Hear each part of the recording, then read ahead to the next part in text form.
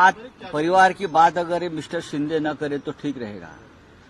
वो जो उनका जो सांसद बेटा है, श्रीकांत शिंदे, वो उनका ही बेटा है ना? बात आप घराने शाही की कर रहे हो, परिवारवाद की कर रहे हो। क्योंकि उनका बेटा उनका बेटा नहीं है? उनका बेटा था इसलिए उनको उद्धव ठाकरे ने उम्मीदवार बनाया कि मेरे बेटे को उम्मीदवार बनाइए। वहाँ हमारे जिला प्रमुख थे लांडगे उसको उम्मीदवारी दी थी। उसकी काट कर अपने बेटे के लिए उम्मीदवार लेके, उम्मीदवार वो बनाकर लेके गए। तो ये क्या परिवारवाद नहीं है? हाँ? आपका परिवार आपका परिवार, हमारा परिवार क्या है? ये एक विचारधारा है महाराष्ट्र में। चाहे शरद पवार साहब हो, चाहे बाला साहेब ठाकरे हो, चाहे यशवंतराव चौहान, महात्मा फुले, ये विचारधारा को लेकर उनके घर के लोग आगे चले जाते हैं। छत्रपति शिवाजी महाराज, आप उनके जो वंशज है तो आप उनके सामने क्यों झुकते हो?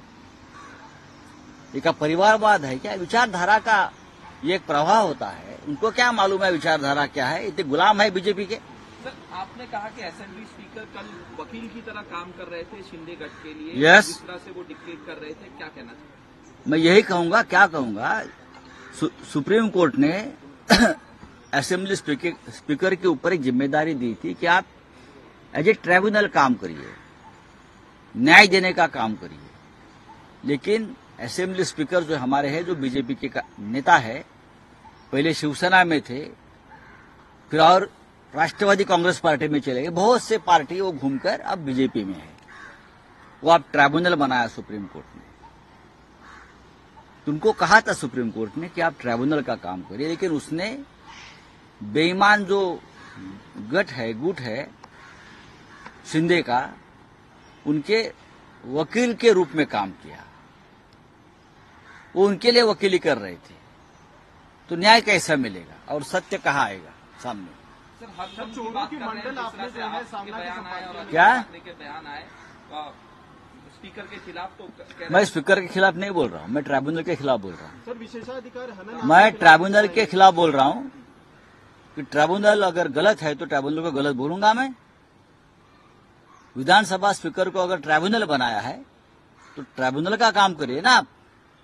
आप किसी एक पार्टी के वकालत क्यों कर रहे हो? विशेषाधिकार हनन के ले आने की बात की जा रही है सर। असेंबली में ये कहा जा रहा है कि स्पीकर के दिए हुए फैसले का जो है अपमान कर मैं स्पीकर का फैसले का बात नहीं कर रहा हूँ मैं ट्राइब्यूनल के फैसले का बात कर रहा हूँ। स्पीकर भारतीय जनता पार्टी का नेता होता है वो है। है क्या नहीं बताइए? स्पीकर निपक्ष होता है इंडिपेंडेंट होता है लेकिन ये चित्र आज नहीं है। और ये मुकदमा जो चल रहा था उसमें स्पीकर का रोल था ट्राइब्यूनल का। लवाज बोलते हैं हम उसको। न्याय देने वाली एक संस्था है। तो मैं उसके ऊपर बोलूँगा। मैं मैं विधानसभा स्पीकर के ऊपर नहीं बोलूँगा। चाहे उसने कितनी भी गलती की हो।